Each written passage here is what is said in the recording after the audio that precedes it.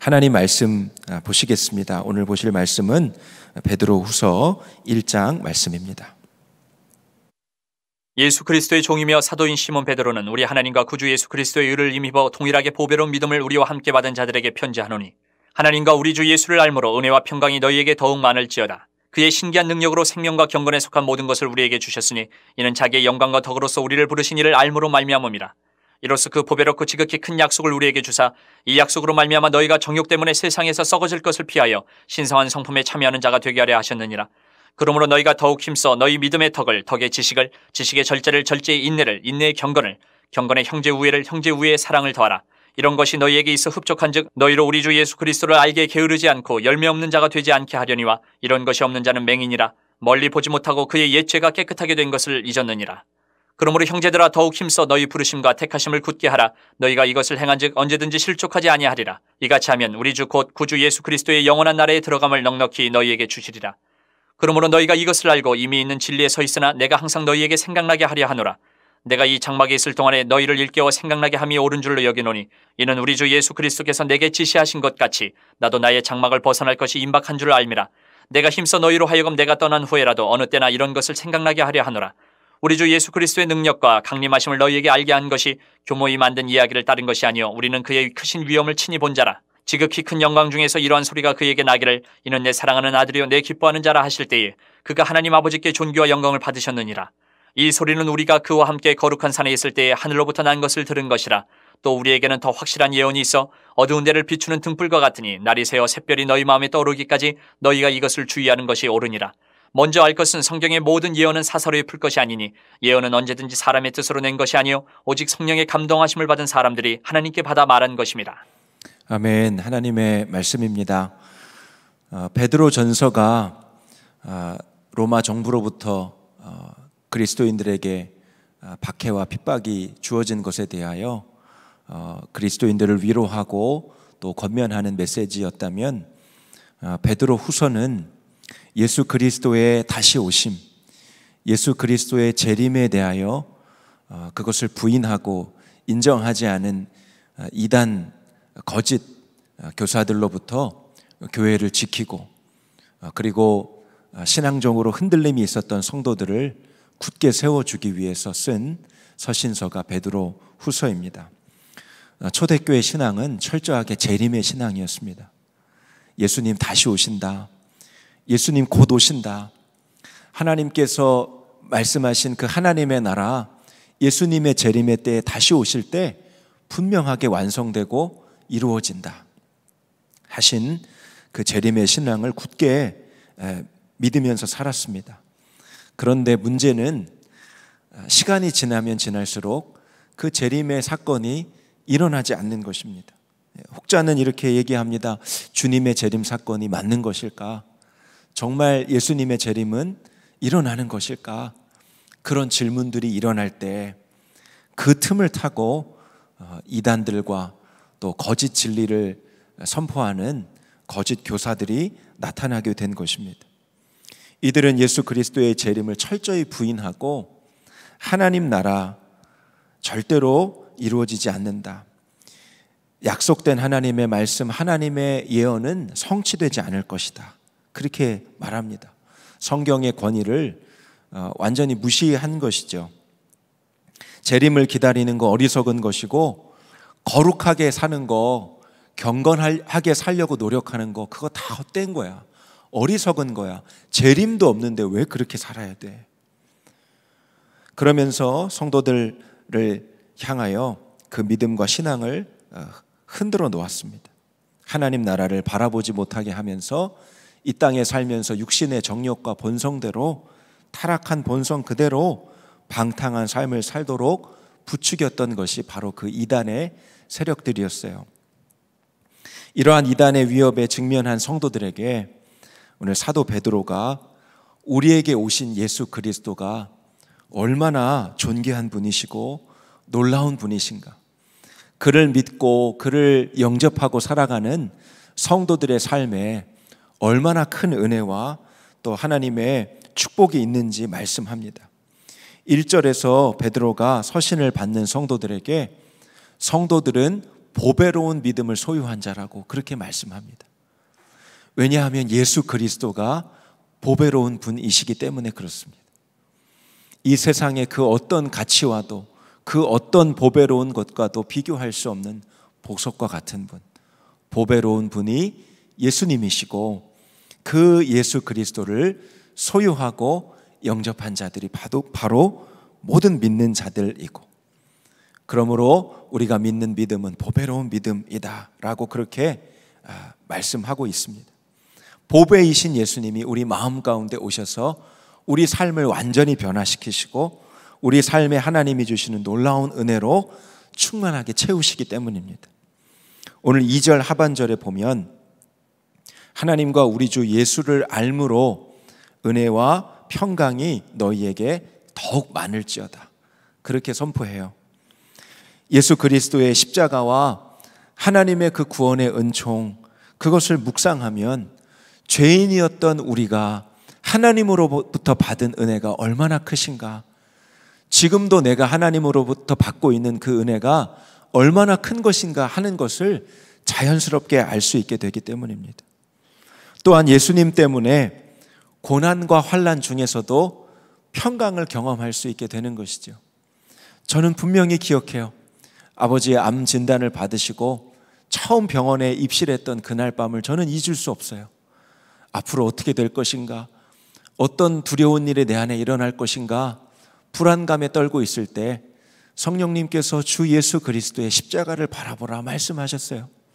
그 병상에 누워 주님을 바라보고 내 안에 계신 예수 그리스도 그분의 십자가를 묵상하는데 말할 수 없는 하나님의 위로와 평강이 그 병실 안에 임재하는 것을 경험하게 되었어요. 예수 그리스도에 대한 지식, 주님을 더욱 알면 알수록 주님이 내 안에 오신 것이 더 분명하게 믿어지면 질수록 하나님의 은혜와 평강, 주님이 주시는 평안은 우리의 삶에 어느 때나 어디에서나 더욱 풍성하게 누려지게 된다는 것이에요. 3절 말씀에 그의 신기한 능력으로 생명과 경건에 속한 모든 것을 우리에게 주셨으니 이는 자기의 영광과 덕으로서 우리를 부르신 이를 알므로 말미암음이라. 예수님을 더 깊이 알면 알수록 주님과 더 친밀한 관계 가운데 나아갈수록 주님은 우리 가운데 생명과 또 경건의 삶을 살 수 있는 모든 것을 이미 허락해 주셨다라는 것을 더 분명하게 깨닫게 하신다는 겁니다. 작년에 13,195명 스스로 자신의 생명을 끊은 자의 숫자입니다. 코로나도 겹치고 수많은 사람들이 우울감과 절망감 가운데 빠져서 살 수 있는 소망을 잃어버렸다는 거죠. 호흡은 있고 숨은 있지만 내가 내 인생을 왜 살아가야 되는지 알지 못하여 만 삼천 명의 사람들이 스스로 생명을 끊었다는 것이에요. 예수 그리스도를 통해서 우리는 죽음에서 생명으로 옮겨지는 놀라운 은혜를 경험하게 됐습니다. 예수 믿기 이전에는 생명이 있지만 이 생명을 왜 살아야 하는지, 이 인생을 왜 살아가야 하는지 알 수 없었지만 주님이 오늘 우리에게 환란과 고난 중에도 어려움 중에도 살아야 될 소망이 있다는 것을 가르쳐 주시고 있는 것이죠. 우리 안에 오신 예수 그리스도께서 우리에게 새롭게 살 소망을 주실 뿐만 아니라 또한 이 땅을 살면서 경건하고 거룩한 삶을 살 수 있는 능력을 또한 허락하여 주신다는 것입니다. 이것은 철저하게 우리에게 난 것이 아니고 우리 안에 계신 예수 그리스도에게서 난 것입니다. 4절에 이로써 그 보배롭고 지극히 큰 약속을 우리에게 주셔서 이 약속으로 말미암아 너희가 정욕 때문에 세상에서 썩어질 것을 피하여 신성한 성품에 참여하는 자가 되게 하려 하셨느니라.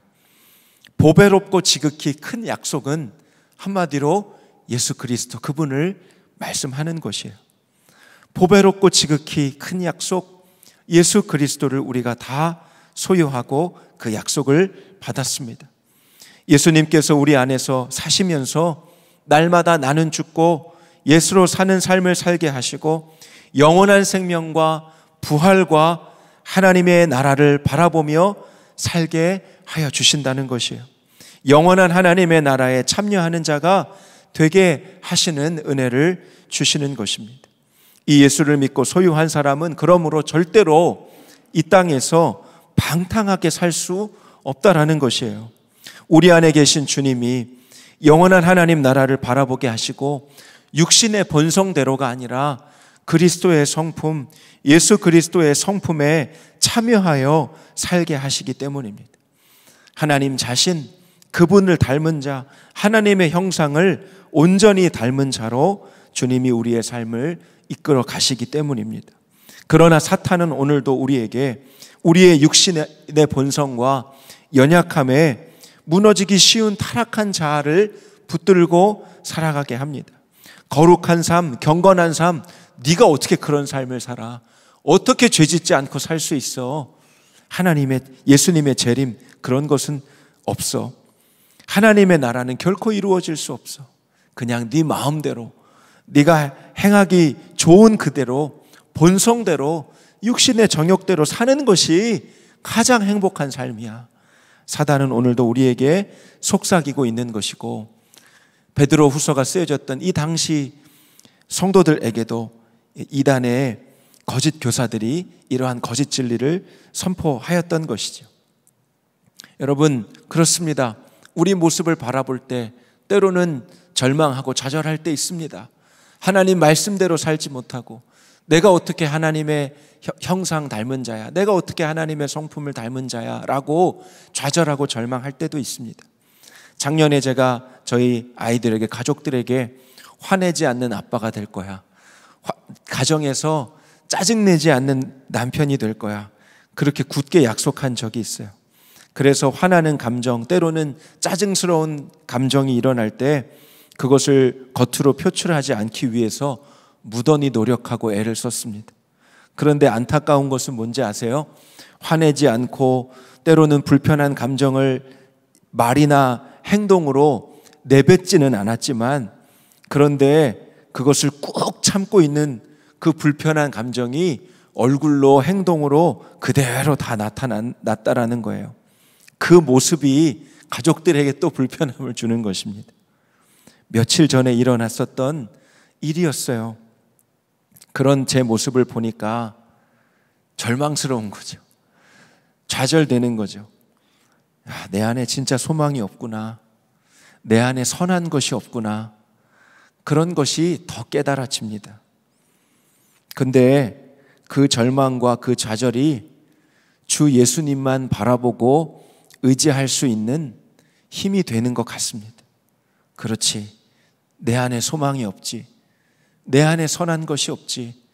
내 노력으로 내 성품 바꿀 수 있는 것이 아니지. 예수님의 성품, 예수님의 거룩함, 예수님의 경건함, 예수님의 의로움, 그것이 나의 것으로 됐다고 믿는 것이지. 주님을 다시 바라보는 믿음이 소망이 되게 되었습니다. 5절과 7절에 베드로 사도가 이렇게 얘기해요. 너희가 더욱 힘써 너희 믿음의 덕을 덕의 지식을 지식의 절제를 절제의 인내를 인내의 경건을 경건의 형제 우애를 형제 우애의 사랑을 공급하라. 그런데 여러분 이것은 다 성령의 열매잖아요. 우리 노력으로 내 본성으로 이룰 수 있는 것이 아니라고 생각해요. 근데 오늘 사도 베드로는 곧바로 8절에 이어서 이렇게 말씀해요. 이런 것이 너희에게 있어 흡족한즉 이런 것이 너희에게 있어 흡속 흡족한즉 한즉 너희로 우리 주 예수 그리스도를 알기에 게으르지 않고 열매 없는 자가 되지 않게 하려니와. 여러분 이런 은혜가 이런 성품이 우리 안에 흡족하게 넘쳐나고 있다라고 말씀해요. 이게 가당한 말일까요? 우리 본성의 모습, 우리 육신의 모습, 우리의 삶을 보면 흡족하기는커녕 어떻게 이런 삶을 살아? 어떻게 이런 예수님의 성품이 내 안에 있을 수 있을까? 좌절하고 고민할 때가 사실 더 많은 것 같아요. 사도 베드로는 너희는 참 괜찮은 사람이야. 이런 성령의 열매를 맺기에 합당한 자들이야 라고 말씀하고 있는 것이 아니라 보배로우신 예수님의 성품이 우리 안에 있다라는 것입니다. 이 모든 성령의 열매를 맺으시는 그 예수님이 너희 안에 계시기 때문에 그 성령의 열매를 맺으시는 분은 예수 그리스도이시기 때문에 그분을 바라보는 자, 그분을 소유한 자, 날마다 그분의 성품에 참여하는 자는 이러한 성령의 열매를 맺기에 흡족한 자라고 말씀하고 있는 것이에요. 그 주 예수 그리스도를 날마다 알기에 그 주님과 더욱더 친밀하고 그 주님을 바라보는 것에 게으르지 말아라. 그리고 열매 없는 자가 되지 말아라. 바꿔 말하면 무슨 말씀입니까? 우리 안에 계신 그 주님을 바라봐. 너의 경건과 너의 의와 너의 덕과 너의 믿음과 너의 절제와 너의 인내와 경건과 사랑의 근본이 되시는 예수 그리스도를 바라봐. 그러면 너희는 열매 없는 자가 될 수가 없어. 열매 맺는 성령의 열매 맺는 삶을 살게 될 수밖에 없어. 라고 우리에게 말씀해 주고 있는 것입니다. 10절과 11절에 형제들아 더욱 힘써 너희의 부르심과 택하심을 굳게 하라. 너희가 이것을 행한즉 언제든지 실족하지 아니하리라. 이같이 하면 우리 주 곧 예수 그리스도의 영원한 나라에 들어감과 들어감을 너희에게 넉넉히 주시리라. 사랑하는 성도 여러분, 주님이 택하시고 부르심, 주님이 나를 택하여 주셔서 이 땅에 오셨고, 주님을 믿고, 주님을 소유한 모든 백성들에게 그 10년 가운데 오셔서 이제는 경건한 삶을 살게 하시고, 거룩한 삶을 살게 하시고, 하나님의 나라가 이 땅에 이루어질 것을 바라보면서 믿, 으면서 살게 하시는 오늘 그 주님 우리가 더욱 힘써 함께 바라볼 수 있게 되기를 원합니다. 사도 베드로가 이 진리가 이 믿음이 희미해지고 이단 거짓 교리에 흔들리는 성도들을 바라보면서 간절한 마음으로 지금 이 베드로 후서를 쓰고 있는 것이에요. 12절, 13절, 14절에 이 진리가 너희 안에 계속 생각나게 되었으면 좋겠어라고 연거푸, 연거푸 고백합니다. 너희가 이것을 알고 있는 이미 있는 진리에 서 있으나 내가 항상 너희에게 생각나게 하려 하노라. 너희를 일깨워 생각나게 함이 옳은 줄로 여긴다. 14절에도 내가 힘써 너희로 하여금 내가 떠난 후에라도 어느 때나 이런 것을 생각나게 하려 하노라. 이 진리를 항상 생각나게 하, 게 하고 싶어. 항상 일깨워서 생각하게 하는 것이 옳아. 어느 때나 이 진리를 생각하게 하고 싶어. 안타까움과 간절함으로 베드로가 말씀하고 있어요. 이 진리를 절대 잃어버리지 마. 항상 기억해. 우리가 항상 생각해야 돼. 날마다 기억해야 돼. 그렇지 않으면 우리는 넘어질 수밖에 없어. 라고 지금 이 편지를 쓰고 있는 것이에요.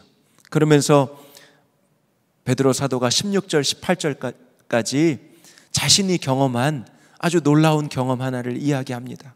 마태복음 17장에 나타난 예수님의 변화산 사건이 바로 그것이에요.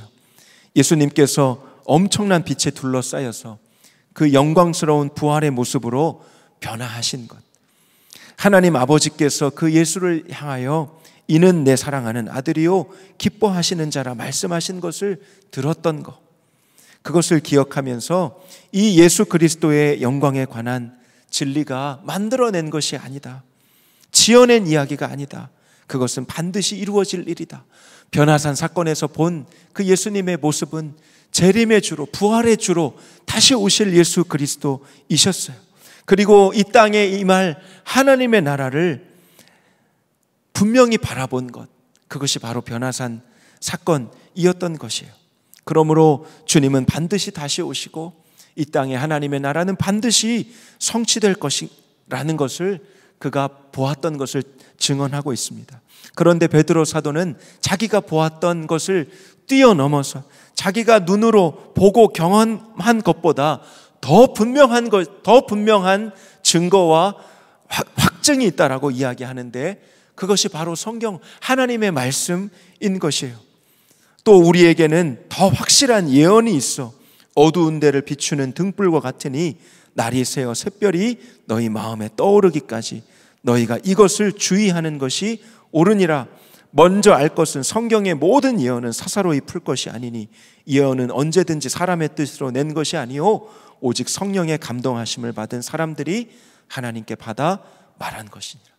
자신이 눈으로 본 그 놀라운 경험보다 더 확실하고 더 분명한 증언은 바로 하나님의 말씀, 주께서 우리에게 허락하신 성경, 하나님의 말씀이라고 하는 것입니다. 하나님의 말씀보다 내가 경험한 것, 신앙적으로 체험한 것을 맹신하거나 우선해서는 안 된다라는 거예요. 우리가 주님을 주목하여 바라볼 때 주님은 반드시 우리를 진리의 말씀으로 이끄시는 분이십니다. 말씀을 붙들게 하시고 말씀대로 행하도록 인도하시는 분이신 것입니다. 하나님의 말씀은 주님이 다시 오시겠다라고 분명히 증언하셨습니다.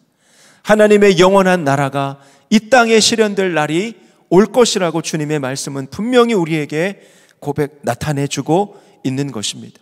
사랑하는 성도 여러분, 지금도 살아계셔서 우리 안에 역사하시는 예수 그리스도를 온전히 바라볼 수 있게 되기를 축복합니다.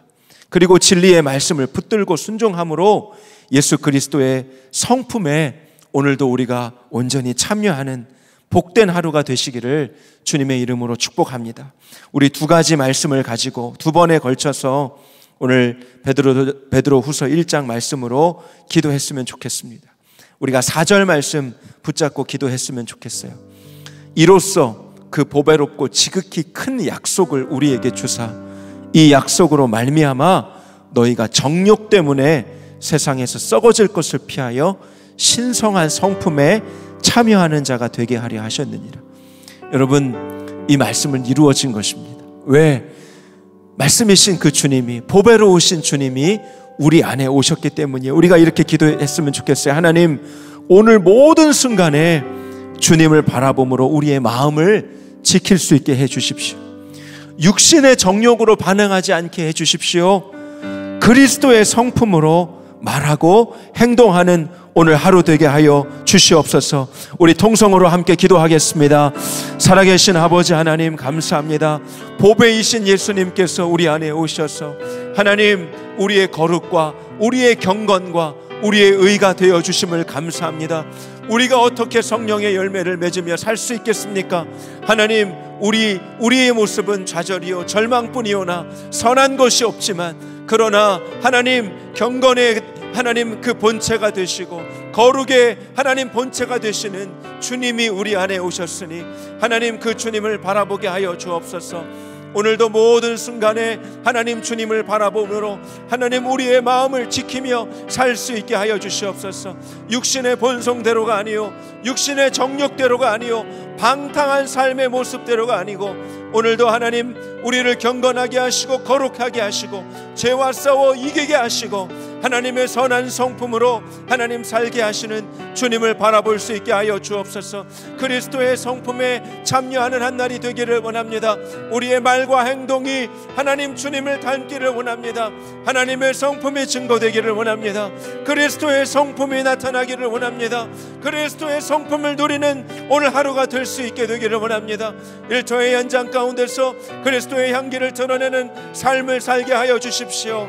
성령의 열매를 맺는 삶을 살게 하여 주십시오. 성령님 연약한 우리를 통하여 주님의 하나님 아버지 그 하나님 성령의 열매를 맺게 하여 주십시오. 하나님 우리의 가정에서 교회에서 하나님 모든 곳에서 언제나 어디서나 하나님 오늘도 우리가 주님을 바라보는 하나님 그 시선을 놓치지 않도록 주님 은혜를 더하여 주옵소서. 우리의 하루의 삶에 하나님이 행하신 놀라운 일들의 간증이 풍성한 오늘 한 날이 되도록 주님 역사하여 주시옵소서. 19절 말씀을 가지고 우리 한 번 더 기도하고 개인 기도로 나아가겠습니다. 사도 베드로가 우리에게는 더 확실한 예언이 있다라고 했습니다. 그 등불이 우리의 심령을 비추신다고 했습니다. 그것이 바로 하나님의 말씀입니다. 이 시간 함께 기도할 때 성령님 오늘 진리의 말씀의 등불로 내 심령을 비춰 주시고 온전히 깨달아지게 하여 주십시오. 진리가 깨달아지게 하여 주십시오. 그리고 나의 생각 혹은 신앙적인 체험보다 하나님 하나님의 말씀을 가장 신뢰하게 하여 주시옵소서. 오늘 내 믿음이 이 하나님의 말씀 위에 있게 하여 주옵소서. 우리 주의 이름을 한번 부르시고 우리 기도의 자리로 함께 나아가겠습니다. 주여 살아계신 하나님 아버지 감사합니다. 오늘 이 새벽에 주님을 바라봅니다. 우리 가운데 하나님 그 어느 것보다 분명한 하나님의 말씀을 우리 가운데 허락하여 주시니 감사합니다. 하나님 우리의 믿음이 진리의 말씀 위에 있기를 원합니다. 하나님 우리의 오늘 모든 결정이 하나님의 말씀 가운데 있기를 원합니다. 내 생각과 하나님 내 신앙의 경험, 하나님 신앙적인 체험이 하나님 말씀 위에 있지 않기를 원합니다. 하나님의 말씀 위에 우리의 믿음이 서게 하소서. 주님의 말씀으로 하나님 우리가 주를 온전히 바라볼 수 있게 하소서. 하나님의 말씀이 오늘 우리의 기도가 되게 하시고 하나님 우리가 주의 말씀에 순종하여 하나님 순종한 하나님 거룩한 하나님 그 은혜의 간증으로 오늘 하나님 앞에 영광 올려드릴 수 있도록 인도하여 주옵소서. 하나님 주의 말씀이 우리 심령에 등불이 된다 하셨는데 아버지 하나님 우리의 심령을 비추소서. 하나님 우리의 마음에 진리의 깨달음을 허락하여 주옵소서. 하나님 주님의 진리로 우리의 심령과 우리의 발걸음을 인도하여 주시옵소서. 아버지 하나님 그렇습니다. 오늘도 하나님 우리의 믿음과 우리의 경험 하나님 우리의 신앙 주님의 온전한 말씀과 연합을 이룰 수 있도록 주여 역사하시기를 원합니다. 내가 맹신하고 있는 것, 하나님의 말씀이 아닌 것에 맹신하고 있었던 것, 하나님 앞에 내려놓게 하여 주시옵시고, 주님, 오늘도 주님이 하나님의 말씀을 통하여 깨달음을 주실 때, 하나님의 생각과 일치하지 않고, 순종함으로 믿음으로 그렇게 반영하며 나아갈 수 있게 하여 주옵소서, 주의 말씀으로 승리하는 하나님 삶의 삶 주님 그렇게 저희 우리를 인도하여 주시옵소서.